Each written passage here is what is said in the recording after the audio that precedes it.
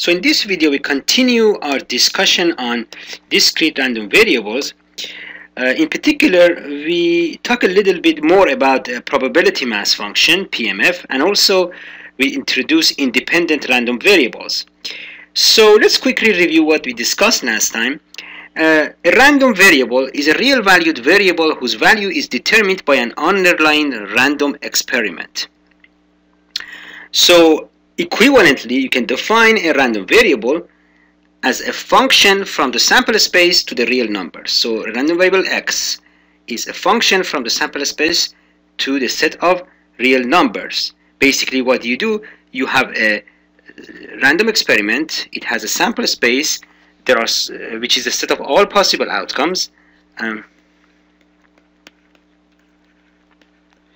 and then to each outcome you assign a number. And this is a function and it's your random variable. Now we define the range of a random variable x. Uh, we show it by range of x or r sub x as the set of all possible values of x. So x can take real values. If uh, we look at all those possible values we call it the range of x. And then we defined uh, discrete random variables. We said that a random variable x is discrete if its range is a countable set. So basically what it means is that you can list all the elements in the range x1, x2 and so on. So when you have a discrete random variable, we said that you can define probability mass function, which basically tells you the probability of each value in the range. Uh, more specifically, if x is a discrete random variable with range uh, x1, x2, x3, and so on, then uh, the probability mass function is basically probability that x is equal to xk for any uh, xk in the range. And we show it by using this notation. This uh, px of xk which is the probability that the random variable x is equal to xk. So this is a function of xk. So this is what we discussed last time. So let's look at a simple example so let x be a discrete random variable with range uh, r sub x equals 1, 2, 3, 4. So these are the possible values of x. And we know px of 1 equals px of 2 equals 1 over 3. And px of 4 is equal to 1 over 6. And the question is, what is px uh, of 3? And uh, also we want to know prob probability that x is larger than equal to 2 and less than 4. So I suggest that you solve this uh, problem before watching the rest of the video. So uh, let's look at the solution. Um, first of all, the problem tells us that px of 1, px of 2 is equal to 1 over 3 and px of 4 is equal to 1 over 6. And we want to know what is px of 3. Now, x can take only 4 values, right? 1, 2, or 3, or 4. So what we know is px of 1, if we sum px of 1 plus px of 2 plus px of 3 plus px of 4, this value must be equal to 1. This is the probability that x is either 1 or is either equal to 1 or 2 or 3 or 4.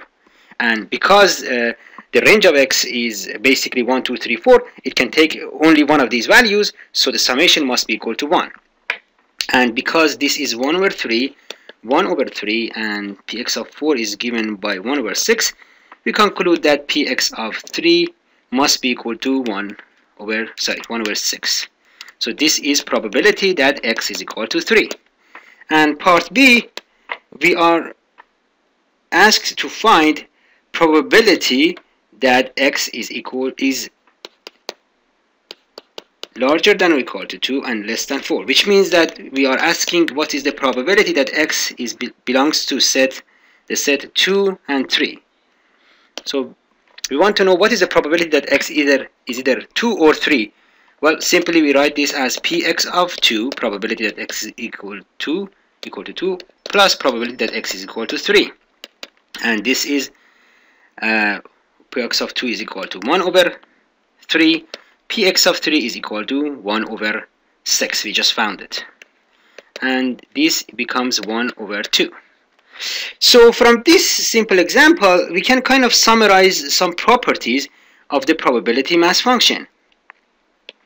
Basically if you have a probability mass function px of xk or px of x this is a probability. So it must be between 0 and 1 and also if you sum over all possible values of x the sum must be equal to 1 and more generally if you want to find probability that x belongs to a set A all you need to do is find this sum the summation for over all x's that belongs to that set px of x so these are the important properties of the probability mass function for discrete random variables. Okay, so now I would like to talk about independent random variables. So in real life, uh, we usually need to work with more than one random variable. When you have a problem, you usually have uh, maybe random variable x, random variable y, random variable z, and so on.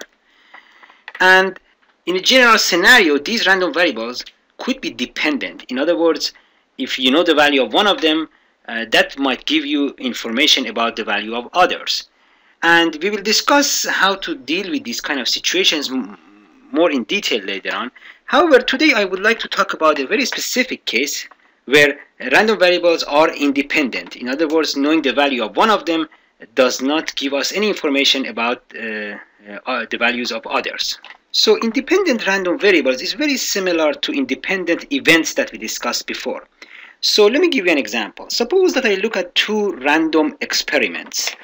The first experiment is that I roll a die and I obtain a random variable, the value of a random variable x. I define the random variable x as the result of my uh, experiment, which is rolling a die.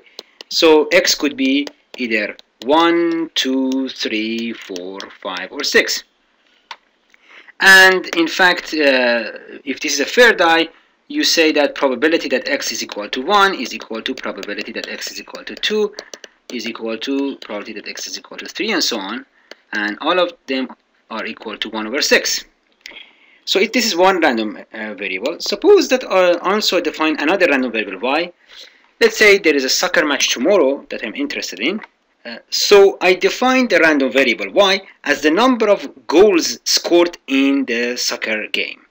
Uh, so the range of the random variable y can be, y could be 0, 1, 2, and so on. So it could be 0 goals, 1 goal, 2 goals, and so on. And suppose that based on statistical analysis, uh, we uh, can estimate that probability that there is no goal in the game is equal to, let's say, 1 over 3. Suppose that we have that information. So I have two random variables. Now I ask you a question. I ask you, what is the probability that y is equal to 0 given that x is equal to, let's say, 3. So I roll a die. The value of my die is going to be 3. It's, 3. I observe it. And then I ask you, how do you update your probability? What is the probability that y equals 0? So you would say that, well, this extra information, you know, is nothing here. It doesn't give me any uh, information about the value of y. So you say that this is simply probability that y equals 0, which is, again, 1 over 3. And you're right. Basically, what you're saying here is that x and y are independent. x uh, random variables x and the random variables x and y are independent. So two random variables are independent if knowing the value of one of them does not give us any information about the value of the other one.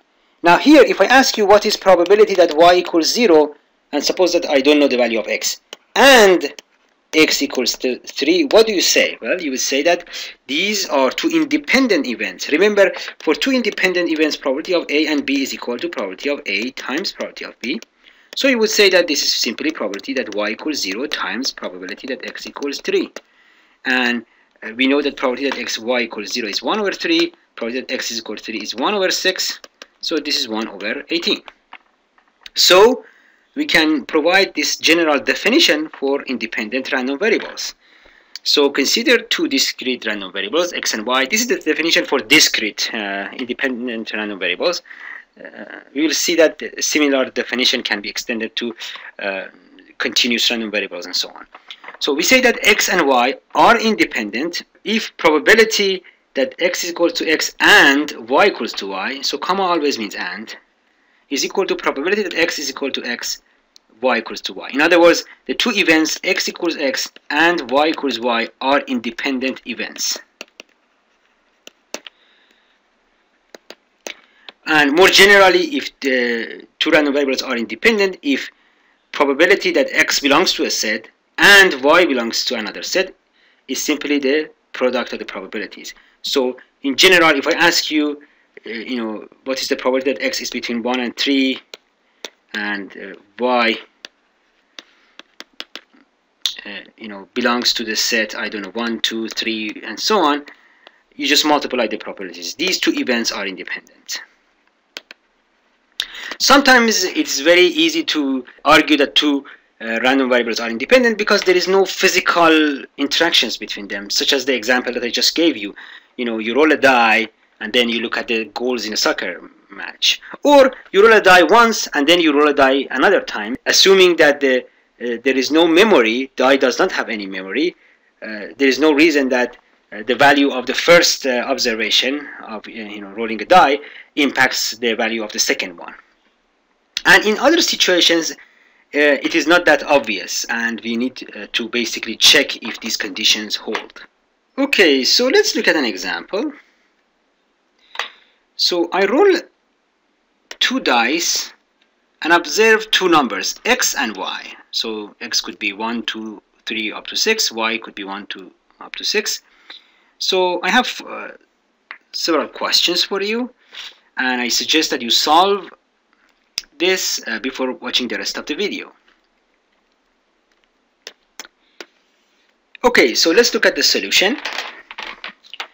First of all, you know, x could be any value between 1 and 6. So range of x, and similarly y. Range of y is basically 1, 2, 3, 4, 5, 6. And assuming the dice are fair, probability that x is equal to 1 is equal to probability that x is equal to 2 up to px equals to 6 which is 1 over 6 and that's similarly for probability that y is equal to 1 is equal to probability that y equals to 2 and up to probability that y is equal to 6 so we can summarize this as writing this way px of k is equal to 1 over 6 for k in 1 2 up to 6 and 0 else. Sometimes we write the probability mass function like this. We say that uh, the probability that x is equal to uh, k is 0 for any value that is not in the range. So, and we can show it by this diagram here. So this is, let's say, real line, and these are all values. So the probability mass function can only take six values for x. So let's say this is 1 over 6, 1 over 6, 1 over 6, 1 over 6, and 1 over 6. And similarly for y, okay, so the first part was easy. The second part, these uh, two random variables are independent.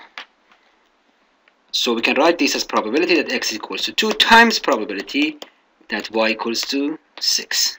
And you must mention that why can you write this? Because x and y are independent.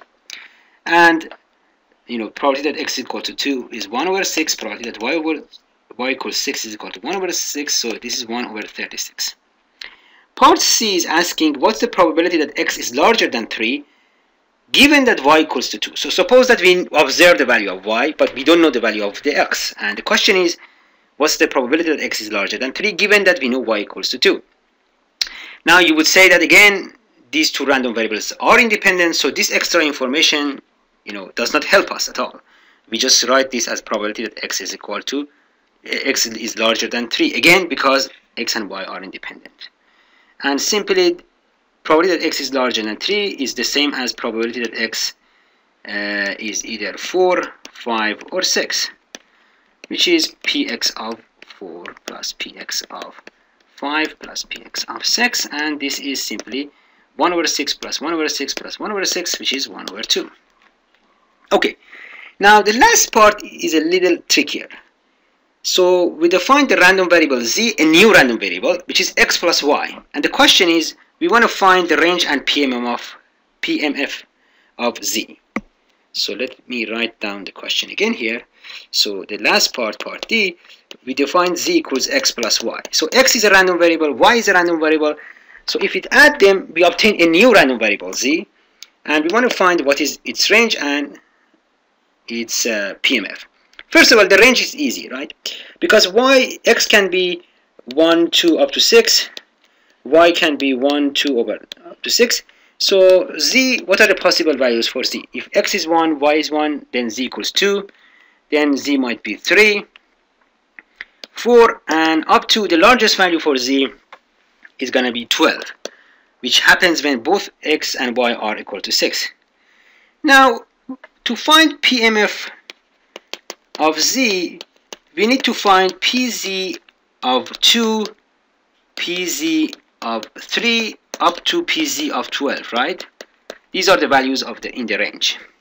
So let's do that. What is probability that z is equal to 2 well that is the probability that z equals to 2 which is probability that x plus y equals to 2 now x plus y can be uh, equal to 2 only if x equals to 1 and y equals to 1 and we know how to do this because x and y are independent, this is simply probability that x is equal to 1 times probability that y equals to 1. And again, we have this, this is 1 over 6, this is 1 over 6. So this is 1 over 36. So let's find the, the next value, pz of 3. What is that? This is probability that z equals to 3, which is probability that x is equal, x, sorry, x plus y is equal to 3. Now, when x plus y can be equal to 3, there are some possibilities. One possibility is that x equals 1 and y equals to 2, or we could have x equals 2 and y equals 1, right? So these are disjoint events, so we can simply write this as probability that x equals 1 y equals to 2 plus probability that x equals to 2 and y equals to 1. Again, we can find these probabilities because x and y are independent. This is probability that x equals to 1 times probability that y equals to 2 plus probability that x equals to 2 times probability that y equals to 1. So this is 1 over 6, 1 over 6, this is y, 1 over 6, 1 over 6. So the total probability becomes uh, 2 over 36 and you get the idea.